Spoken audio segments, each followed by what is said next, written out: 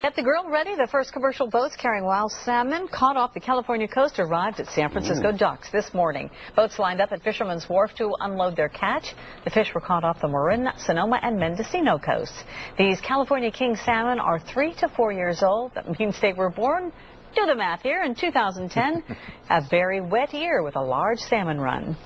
We should have good fishing all through this year because again these fish were born when we still had plenty of water in the system.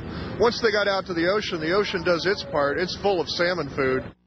While salmon unloaded today will go to restaurants and high-end supermarkets. Enjoy it because the catch will be much smaller starting next year because of our continuing drought. Uh